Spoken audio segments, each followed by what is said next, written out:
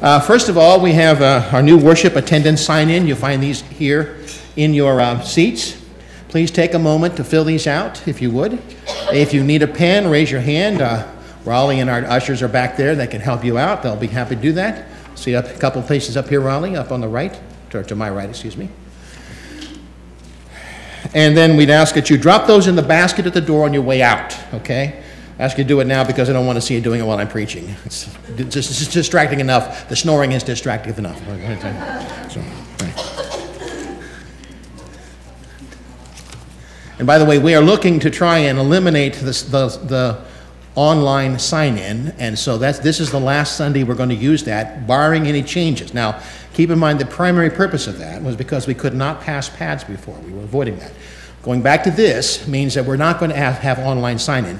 Please don't get stubborn about this, because I'll put online sign-in back in in a heartbeat. It's a lot easier than this, trust me. People have to put, put, print these out, pass them down. So help us out here. You guys who complain, help us out. Don't make, don't make me wag my finger and bob my head, because I will do it, okay? All right. Christmas families, next, next slide, please. Christmas families, we are up to, this is the time of the year when we are now in gathering gifts, money, anything you have for the Christmas families. We are officially adopting 12, but I think we've already added three more up to 15. Does that sound right, Leanne? 17. 17. Thank you. Thank you. Up to 17 now. And that's because the need is great. In the past, usually the community does between 350 to 375. They're already over 450 for this year. Uh, last year, the COVID suppressed the need. This year, folks are out again. The need is really skyrocketing. A lot of people are coming out. The need is great. It's real. So please help as best you can. As you go out today, and that door into the left, you'll see the boards. Some of the families have already been put out there. Take what you can. The instructions are pretty clear up here. This is the first Wednesday night of Advent coming up. We will start with a soup supper at 6 o'clock in the fellowship hall. We will be soup, serving soup from 6 until 6.45, plenty of time. Plenty of time for you to come and eat soup. At 6.45, we will clean up, and at 7 o'clock, we'll be in here for service. And by 7.30, we'll, we'll be done. So if you're coming for service only, 7 o'clock here. Although you could come a little early and help us clean up if you'd like to do that. That'd be great, okay? But we're not asking people to stay and clean up during church. Please don't plan to do that. Don't plan to do that. Come at 6:45 to help clean up. If you're not going to eat, if you are here to eat, please stay and help us clean up. We'll have plenty of time to do that. Uh, so next. Tree lighting is coming up on the 3rd. That's uh, this coming Friday night at 5 p.m. downtown. If you've never been to that, it's a wonderful event. We missed it for a year because of COVID. Uh, and the band plays, the civic band plays. We provide cookies and hot chocolate on the corner. Uh, our uh, fellowship uh, ministry group does that along with volunteers. And uh, I think there's still some signups about cookies, et cetera, helping out. Please note that. And um, that's a wonderful event. It's a horse-drawn carriage parade. It's worth coming to see. So come on downtown and we'll pass out some information about our church Christmas Eve services. Oh yes, there's this, next Sunday. I always feel awkward saying, let's come and celebrate me, okay? Yeah, it has been 30 years, in fact, it's right. Yeah, it's pretty close to 30 years on that day. Um, I think I came on the 6th of, of, the 7th of December for my first day at work. And I think it was a Sunday. Uh, no, it wasn't. It was a Monday. It was a Monday I came. It was the following Sunday I began, and my first Christmas Eve was a real eye opener for me because uh, I got to sit with my family at the early service. It was wonderful. Uh, so, at any rate, uh, please uh, come. I'm asking that you make gifts to the discretionary fund, not to me uh, because that's a this one of the very unique things about this parish, and I do mean it's unique. Other parishes have funds their pastors can tap. The fund here is astonishing, not only in the, in the, um, the generosity that you folks show giving it, but the amount of good it does in this community. It's astonishing uh, the amount of good we're able to do in that fund. There are some years when thousands and thousands of dollars flow through that fund directly to help people in, in need. So uh, it warms my heart and it makes you all look as good as you really are. Thank you for doing that. So please, uh, please do that. Uh, and there'll be a brief reception after each service. Okay. And finally, uh, our sister Sue Red will be having a memorial service for her on Saturday, the 11th. That's at 11 o'clock in the morning. 11 o'clock in the morning. We'll get information out by email. Table talks coming up. Uh, we're going to have two more before the end of the year, uh, the Sunday the 12th. uh, at 9:45 and at noon. These will be brief talks, uh, opportunities for you to come, talk about the changes that we've undergone during COVID and some of the hopes for our future as a congregation together as we look ahead. It's kind of that fulcrum we're at, that turning point. We want as many voices and as many bodies who can do that. So, those of you who don't normally come and have coffee between services, go down and get your coffee because we'll be there waiting for you. Okay? You won't be able to escape us. So, and then those of you who cannot do that, come after the service. We'll have some more after the first of the year. These will not be your only opportunities, but it's not just the more the merrier. It's the more voices we hear, the better we'll be able to walk into the future together as a congregational family. So please, it's an important thing for, that we're doing. In your prayers this week, we ask that you remember Kevin Alexander, who is hospitalized in Springfield, uh, Chuck Danforth, uh, who is right now re- rehabbing at Xenia Health and Rehab Center. Uh, prayers of thanksgiving from Janet Miller for her mother, who had a successful surgery. Janet's down with her today. She asks, uh, she thanks you for your prayers. Joy Jeviden, who has been undergoing a long recovery after hip surgery, also said thank you to the congregation for the prayers and support. Uh, prayers of thanksgiving from her.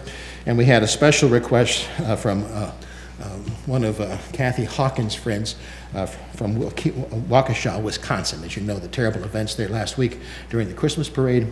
Uh, pray for the people of Waukesha, which we will do, but in particular for a young 10 year old named Mackenzie. This is her teacher who, who asked for this re- request, who was injured during that parade and is right now in intensive care. Uh, so keep, keep those folks in your prayers. And also just found out that Kim Berkey uh, had another AFib attack, but he is doing better, so we're going to keep Kim and his family also in your prayers today.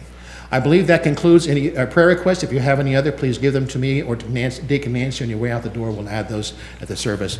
Our service now begins with our prelude.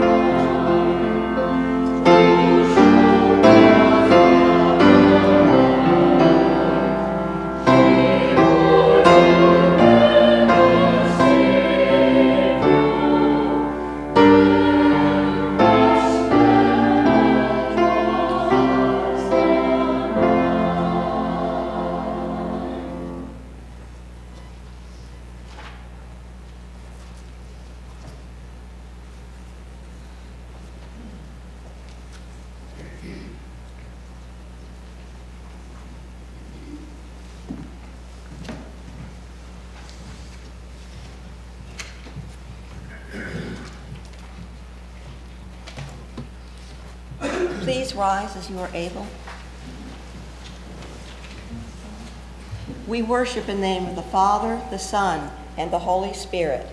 Amen. The Lord of Advent tells us to be watchful for his coming, keeping our lamps lighted and our hearts clean. Therefore, let us confess to the Lord. Amen. God and Father of all, we prepare our hearts for the coming of your Son, confessing our sins, confessing our attraction to a godless world that does not know Christ. Forgive our sins, cleanse our hearts, and keep us faithful for the promised coming of your Son, Jesus Christ our Lord. Amen. God sent his Son, the babe of Bethlehem, to show his infinite love and forgiveness for all. Your sins are forgiven in the holy name of Christ, who came and will come again. Amen. The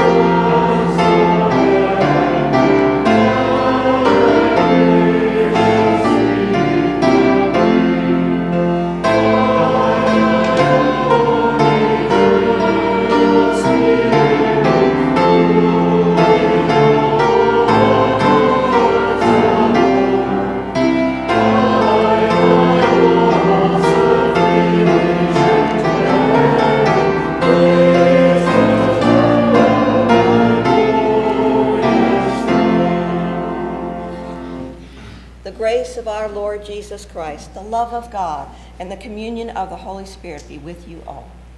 For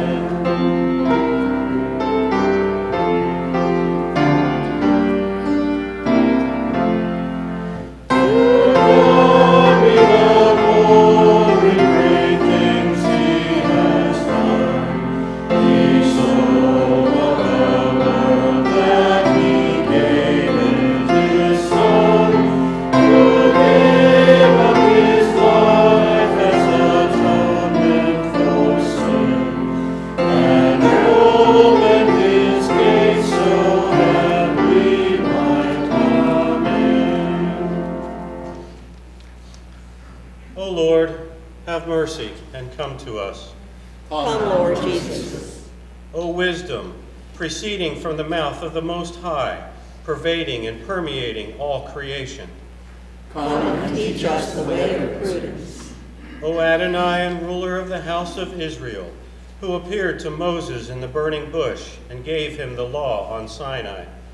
Come with an outstretched arm and redeem us. O root of Jesse, standing as a sign before the peoples, before whom all kings are mute, to whom all nations will do homage. Come quickly to deliver us. O Emmanuel, our King and our lawgiver, the anointed of the nations and their Savior. Come and save us, O Lord our God.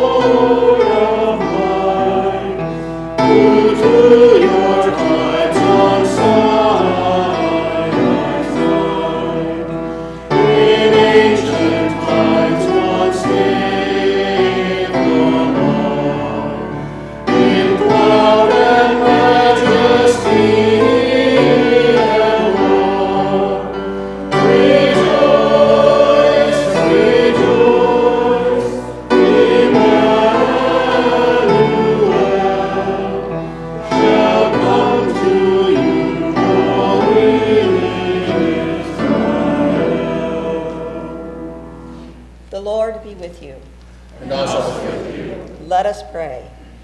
Stir up your power, Lord Christ, and come. By your merciful protection, alert us to the threatening dangers of our sins and redeem us for your life of justice. For you live and reign with the Father and the Holy Spirit, one God now and forever. Amen. Amen. Please be seated.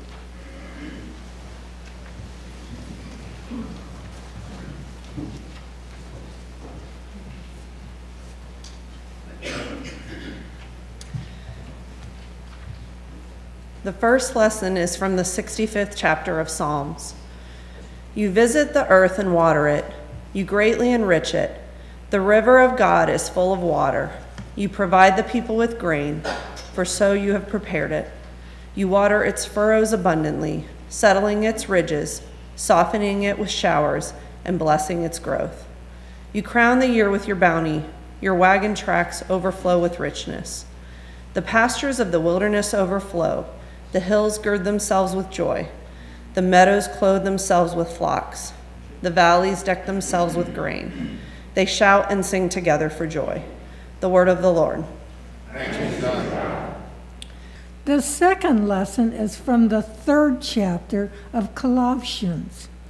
As God's chosen ones, holy and beloved, clothe yourselves with compassion, kindness, humility, meekness, and patience. Bear with one another, and if anyone has a complaint against another, forgive each other. Just as the Lord has forgiven you, so you also must forgive. Above all, clothe yourselves with love, which binds everything together in perfect harmony. And let the peace of Christ rule in your hearts, to which indeed you were called in the one body. And be thankful. Let the word of Christ dwell in you richly. Teach and admonish one another in all wisdom, and with gratitude in your hearts, sing psalms, hymns, and spiritual songs to God. And whatever you do, in word or deed, do everything in the name of the Lord Jesus, giving thanks to God the Father through him. The word of the Lord. Thanks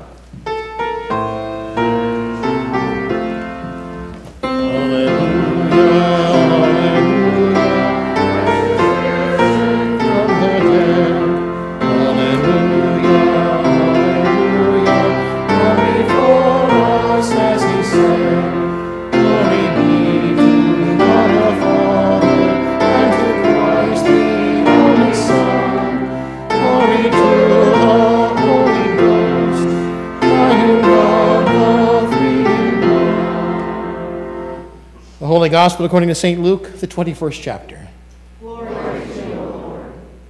Jesus said, There will be signs in the sun, the moon, and the stars, and on the earth distress among nations, confused by the roaring of the sea and the waves. People will faint from fear and foreboding of what is coming upon the world, for the powers of the heavens will be shaken. Then they will see the Son of Man coming in a cloud with power and great glory. Now, when these things begin to take place, stand up and raise your heads, because your redemption is drawing near. Then he told them a parable Look at the fig tree and all the trees. As soon as they sprout leaves, you can see for yourselves and know that summer is already near. So also, when you see these things taking place, you know that the kingdom of God is near. Truly, I tell you, this generation will not pass away until all things have taken place. Heaven and earth will pass away, but my words will not pass away. Be on guard, so that your hearts are not weighed down with dissipation and drunkenness and the worries of this life, and that day does not catch you unexpectedly like a trap. For it will come upon all who live on the face of the whole earth. Be alert at all times, praying that you may have the strength to escape all these things that will take place and to stand before the Son of Man. This is the gospel of the Lord. Praise to you, Lord Christ. You may be seated. Our children, second grade and under, are now dismissed to go with Miss Heather for children's time.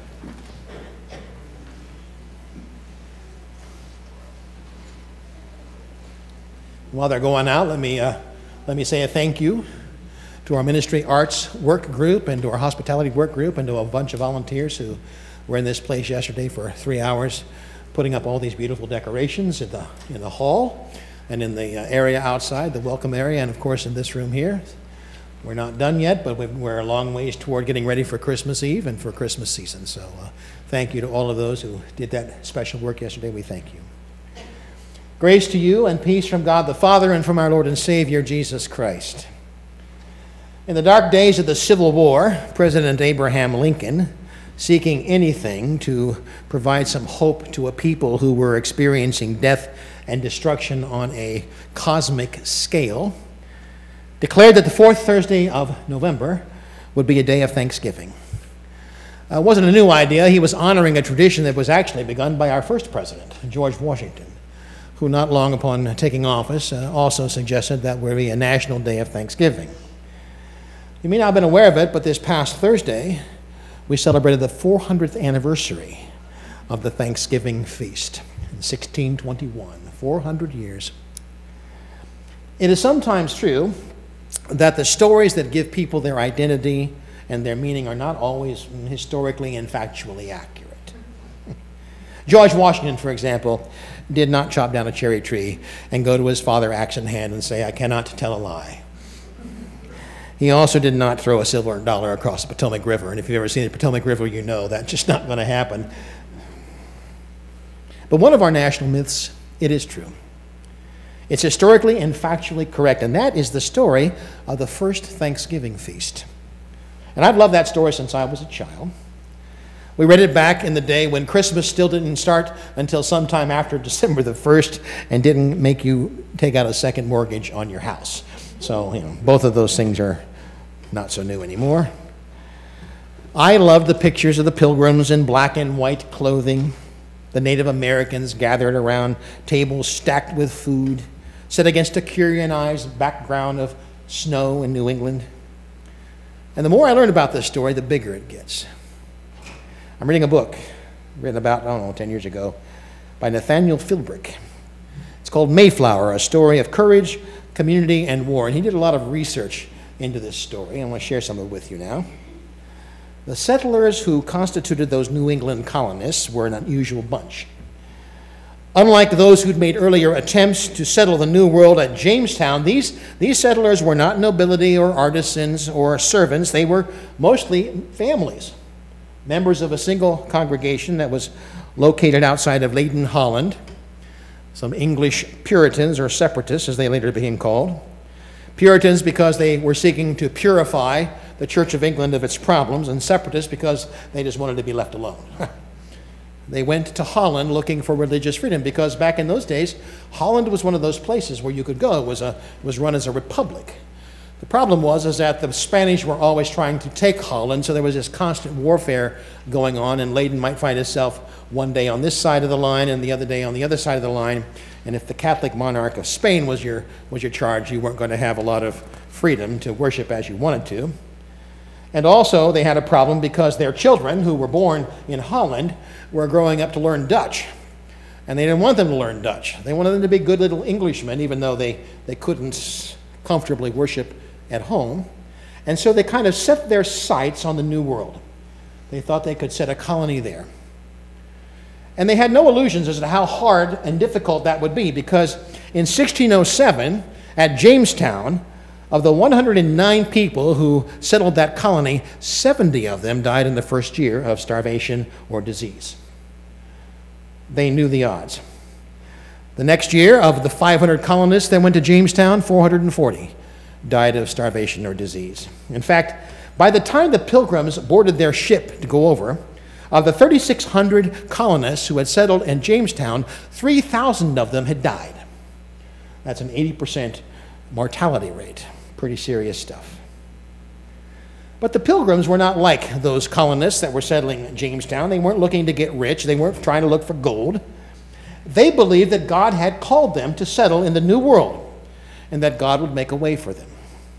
Their leader, William Bradford, wrote this We verily believe and trust the Lord is with us and will graciously prosper our endeavor.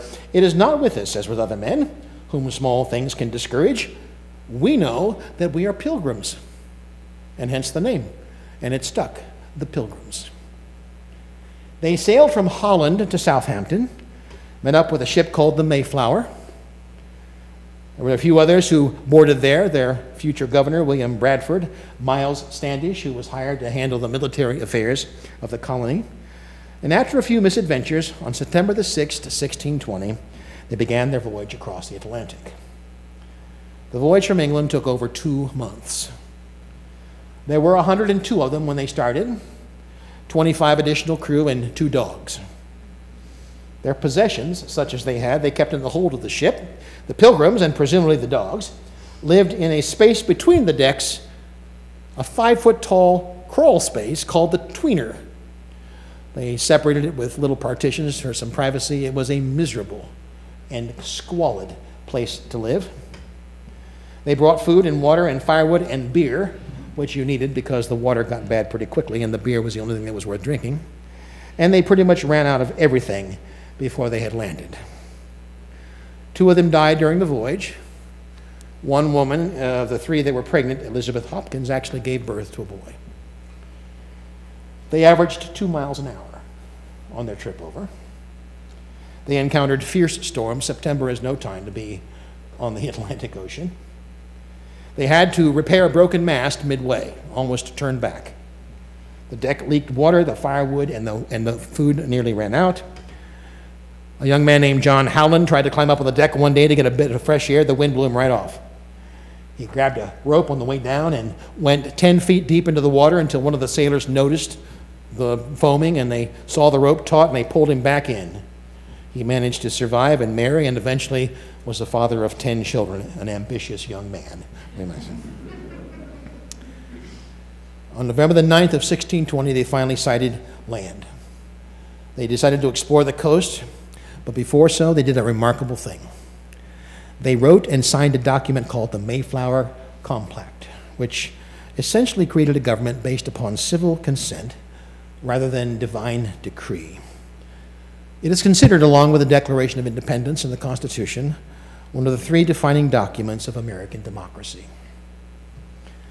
They didn't always live up to it, but in that moment they decided against a theocracy, against rule by divine right, against special religious prerogatives. Instead, they decided the government of the new colony would derive its power from the consent of the governed. It was a radical notion, never been tried before. At Providence, a small landing party put ashore 16 well armed men. They fell on their knees in gratitude and prayed. They looked around, cut down some trees, went back to the ship, and enjoyed their first warm fire in two weeks. The next day was a Sunday, November the 11th or 12th, and they stayed on board that day to worship and pray, as was their practice.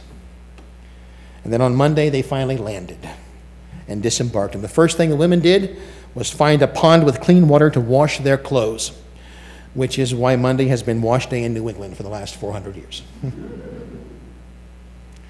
they explored for a month and finally they settled on a site where on December the 23rd they began to build the first of seven huts which would eventually become the city of Plymouth. 52 of them died the next winter. They cleared and planted in the spring with some friendly natives showing them how to do it right. And by September, they had a bumper crop of peas and corn and squash and barley so they could make beer again. there was great rejoicing, as they say. The harbor was filled with migrating birds, and by autumn, William Bradford wrote, they gathered the fruits of their labor, and then they took the time to rejoice together after a more special manner. He sent four men fowling, and they came back with enough geese and ducks to feed everybody for a week. They held a feast and invited the neighbors, perhaps remembering the harvest festivals of old England. In addition to vegetables and geese and ducks, they served striped bass, bluefish, and cod, which they caught off the scarp of land that forever bore the name Cape Cod. Massasoit, the local chief, arrived with 100 of his Pocono warriors, bringing five freshly killed deer and two wild turkeys there was no pumpkin pie or cranberry sauce. There was also no tables or forks because they didn't have them. They ate with their fingers like they'd always done and knives. That first Thanksgiving marked the conclusion of a remarkable year. Eleven months before, they had arrived afraid, uninformed, uninvited. They spent the next months angering almost every Native American they met, and by any reasonable measure, not one of them should have survived the first winter. And yet they did. A testament to their grit, their resolve, and their faith. So they rejoiced together after a more special manner. And part of that gratitude was, of course, for the bounty and the beauty of creation, but part of it was the mere fact that they were alive. Like I said, it's a remarkable story, worth remembering, worth celebrating, worth telling our children about. And it's actually true. It reminds us that no matter how bad the circumstances, and the circumstances could have hardly been worse, there is always a reason to be thankful. Always. The bounty of creation is a basic biblical theme. In fact, on its very first page, the Bible says that God's creation is good. Now, sadly, we Christians, after about four centuries, decided to emphasize the brokenness of creation and the sinfulness of humanity. By that time, we pretty much decided God's creation was not good, and that the body was something that we needed to be delivered from with its all its uh, unseemly tastes and needs. We forgot that creation was God's idea. Or, as C.S. Lewis once quipped, material things have got to be good because, after all, God made them. Fortunately for us, when theologians forget this, the poets remind us. And the psalmists were poets. A lot of psalms celebrate the beauty of creation and its capacity to feed and sustain to make us look out and wonder, to nurture our spirits, to reveal the bounty and the beauty of our God. When you look at creation, you get a glimpse of the Creator. And Psalm 65, which you read earlier, speaks of this. You visit the earth and water it, you greatly enrich it. You provide your people with grain, for so you have prepared it. You crown the year with your bounty. The pastures of the wilderness overflow. The hills gird themselves with joy. The meadows clothe themselves with flocks. The valleys deck themselves with grain. They shout and sing together for joy. The Bible promises there is always enough. There is always more than enough. The problem is we don't trust the promise of the Bible. Several years back, the National Geographic Society made a documentary about the lost boys of the Sudan. It was called God Grew Tired of Us. In the Sudan at that time, there was a war going on between the Muslims and the Christians, and I guess you could say the government, whatever it was. And a lot of families were displaced. Thousands of young boys, mostly under the age of 12, were separated from their parents, so they began a trek across the Sudan, which is not a very pleasant trek. The Sudan is mostly desert. It's the part of Egypt nobody wanted. like, you know, Michigan. It's part of Ohio nobody wanted, just so you know. so, sorry about uh, State fans. A little sop there. They began that trek across the Sudan, the older boys helping the younger ones, and they walked a thousand miles to Ethiopia, which is not exactly a garden spot. And in fact, while they were there, the Ethiopian government fell. And so once again, they trekked a thousand miles uh, to, the, to Kenya, where the United Nations finally settled them in a refugee camp. 25,000 of them, actually. At that time, the Western nations finally figured this was a problem we should do something about. And so the United States, along with other countries, just said they would take them in. They would take some of these lost boys in. By this time, they were in their teens and 20s, they were older. And the United States settled them. And so the lost boys came from the starkest poverty you could imagine no running water, no electricity, constant starvation. They put them on planes. They flew them to modern cities across this country, and they gave them brand new apartments. they had never seen a refrigerator. They had no idea what running water was. They had no idea what a flush toilet was. They didn't know what those little things on the wall were for, flipping up and down. They had no idea. They'd never seen anything like it. So the film chronicled their first trip and getting used to things. And it, showed their first trip to a supermarket. Now, imagine these lost boys walking in wonder and disbelief past mountains of fresh vegetables, counters running deep with meat, bread, sweets, a glass case filled with something called a donut with multicolored sprinkles that were sugary and sweet. They had never seen anything like this. It was beyond anything they could have imagined or dreamt of. For us, a quick run to Kroger's is an opportunity to complain about the fact that milk has gone up nine cents a gallon and they've moved the damn toilet paper again, and you know it. What these folks saw was the bounty of creation and the miracle of God's goodness. Better Christians than we are, that's for sure. When we forget the promise of God's abundance, when we operate only out of a sense of scarcity, we become greedy and stingy and mean. We become afraid. We try to secure our future by obtaining things and then holding on to them with a death grip. In this country, we actually pay people not to grow food. While half the world starves, we pay people not to grow food on the richest farmland in the world. Oh, we read about abundance in the Bible, but we spend more time watching the stock market, whether it goes up or not, to see if our 401ks have gotten better or worse. We read the Bible on occasion, but you know, every day we watch our iPads, our computer screens, and our TVs, and we see the ads that promise us that the guy who dies with the most toys wins. That's how we live our lives. But the Bible makes a radical promise that is, economic and political implications. There is enough. There is more than enough because God has said so. And when that prosperity is shared, when loaves are broken and passed around, miracles happen. Hungry people are fed, and God is glorified. Thanksgiving in this country comes and goes so fast, we hardly notice it these days. We are in such a rush to get to Christmas.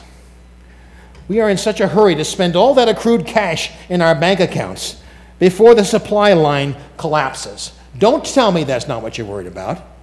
I know, I hear you talk. I read your Facebook posts. And we're missing the story here. We're missing the narrative. Those pilgrims were grateful to just be alive. We can't celebrate the bounty all around us if we can't be thankful that we're just alive. Because, in case you haven't noticed, nearly a half a million of us died of COVID in the last 12 months. That ain't nothing. Our lives are a gift, given every day an opportunity for us to be God's people, to glorify God in whatever way we can. Again, it takes a poet to put this into words. The late Jean Kenyon, who died after a long battle with leukemia, wrote a poem called Otherwise. She wrote, I got out of bed this morning on two strong legs. It might have been otherwise. I ate cereal, sweet milk with a ripe, fresh, flawless peach. It might have been otherwise. I took the dog uphill to the birchwood. All morning I did the work that I love. At noon I lay down with my husband. It might have been otherwise. We ate dinner together at a table with silver candlesticks. It might have been otherwise. I slept in a bed in a room with paintings on the walls and planned another day just like this one because one day I know it will be otherwise. St. Paul wrote to the Colossians, Whatever you do, in word or in deed, do everything in the name of the Lord Jesus, giving thanks to God the Father through him. Because every day is an opportunity to give thanks. Thanks for the gift of your life. Thanks for the abundance of God's creation. Thanks for the gift of God's love given to us without condition or pause.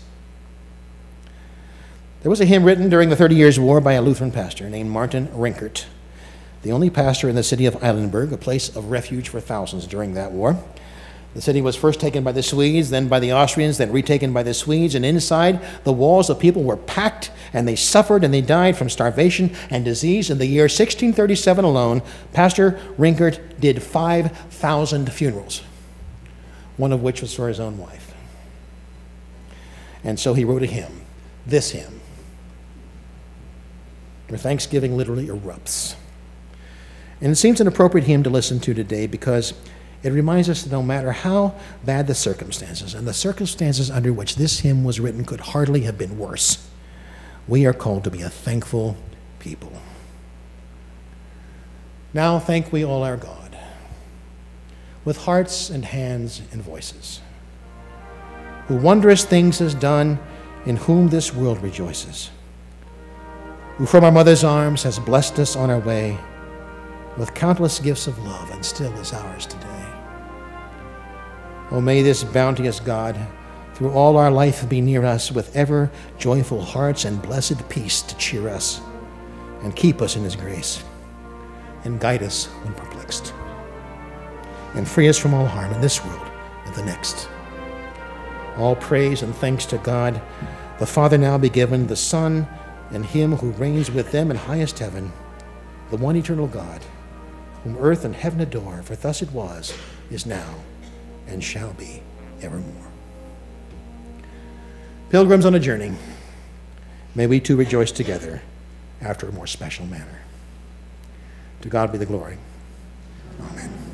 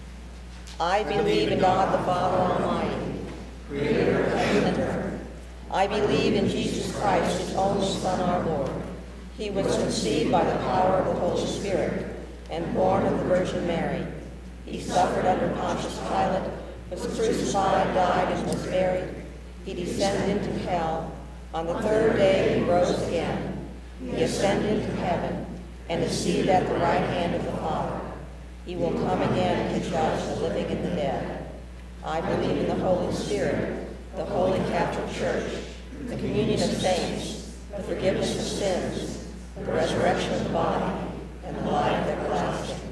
Amen. Let us pray for the whole church of God in Christ Jesus and for all people according to their needs.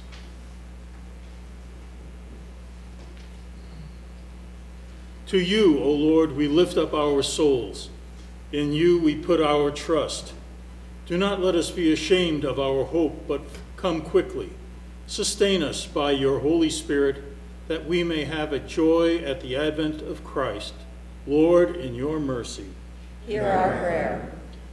We praise you, O Lord of hosts, for you have fulfilled your promise of salvation by sending Jesus to suffer on the cross. Pour out your Holy Spirit upon your Lutheran saints in ministry. Bless its pastors in their proclamation of your word, and preserve us all in our baptismal grace. Lord, in your mercy. Hear our prayer. Lord of all, in the season of thanksgiving, receive our thanks that you continue to preserve your word among us. Even in a world that opposes your name, grant us tongues that joyfully declare your praise. Lord, in your mercy. O Lord, our King, righteousness and justice are the foundation of your throne, and steadfast love and faithfulness go before you. Watch over the authorities of this land. Grant that they govern justly, that we may live in peace. Lord, in your mercy. Almighty God and Father, direct the way of all who travel. Protect them on their way. Preserve them from loss and complication, and grant them success in their journey and joy upon their return home. Lord, in your mercy. Hear our prayer. Almighty God, instill in us a people of abundance, not scarcity, and that we are thankful for the blessings that we have received, especially this last week through Thanksgiving, of family and food. Lord, in your mercy. We give thanks to you, O God, that as you provide for all our needs in this body and life, hear our prayers for those who are in need of your mercy, especially Kevin, Kim, and Becky. Stand with Chuck. We are thankful for the successful surgery for Janet's mother and for Joy Jevedon. We especially lift up today the people of Waukesha and all who are injured and all families that are suffering at this time. We lift up for your special touch Mackenzie, who continues in intensive care, and all those that we name now before you from the silence of our hearts. And we ask that you comfort all who mourn, including the Red family, at the passing of Sue this week. And until the coming of our Lord with all his saints, Lord, in your mercy, Holy God, you declared that the days were coming when you would accomplish your salvation. And in your time, you caused your Son, the righteous branch, to spring up for David. By your grace, keep us joined as branches to Christ, that we might bear fruit until the day he returns in glory. For he lives and reigns with you and the Holy Spirit, one God now and forever. Amen. The Lord is coming soon. His advent is drawing near. Therefore, let us give him our thanks and praise and call upon his presence at our advent table. It is indeed right and salutary that we should, at all times and in all places, offer thanks and praise to you, O Lord, Holy Father, through Christ our Lord, who on this day overcame death and the grave, and by his glorious resurrection opened to us the way of everlasting life. And so, with the church on earth and the hosts of heaven, we praise your name and join their unending hymn.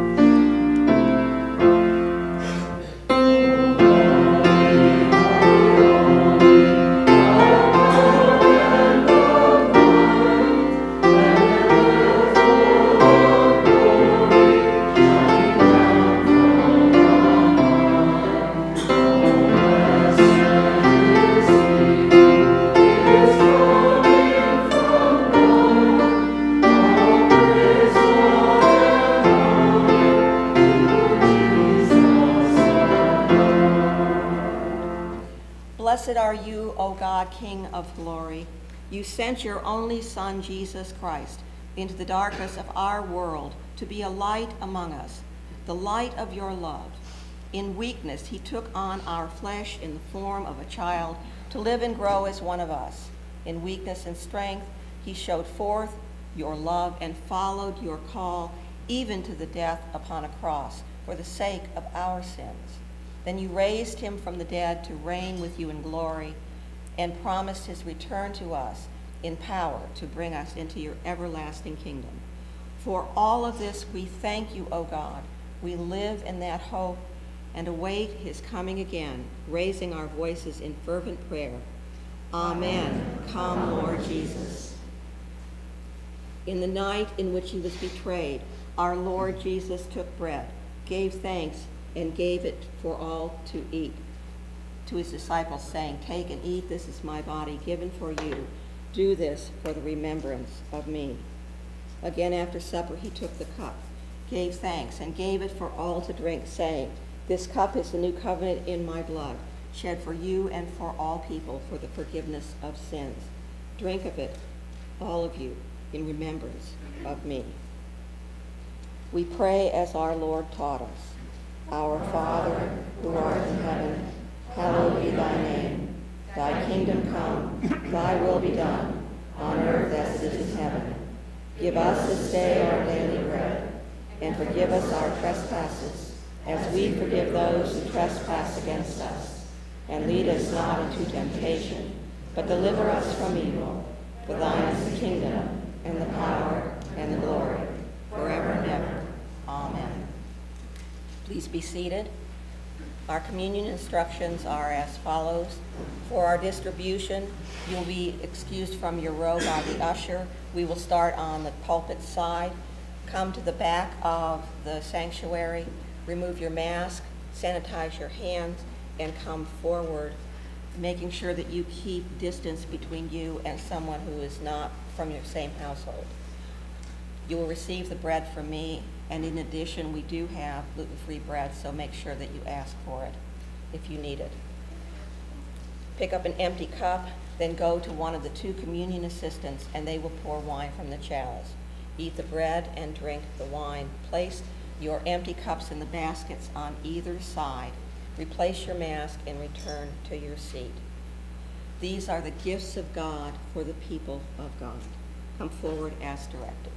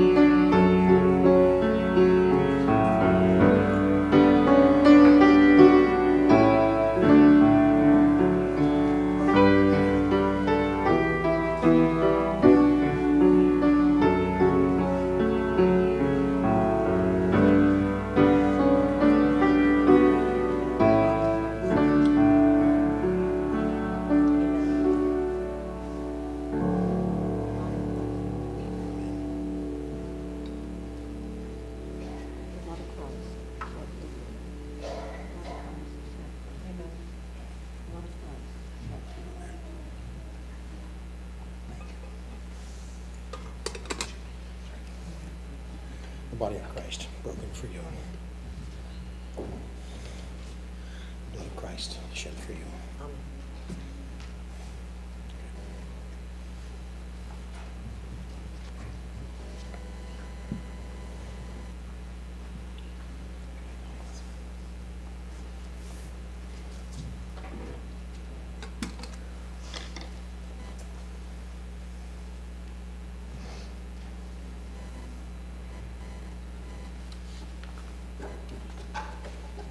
Please stand for the blessing. The body and blood of our Lord Jesus Christ strengthen you and keep you in his grace. Amen. Amen.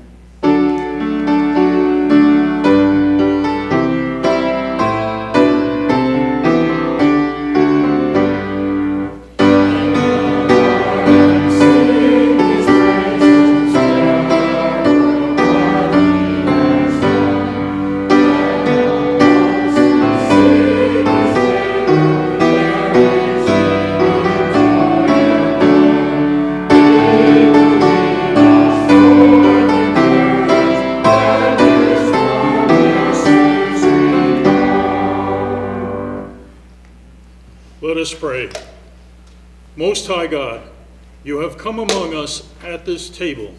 By the Spirit's power, form us to be bearers of your word, sharing gifts of mercy and grace with all.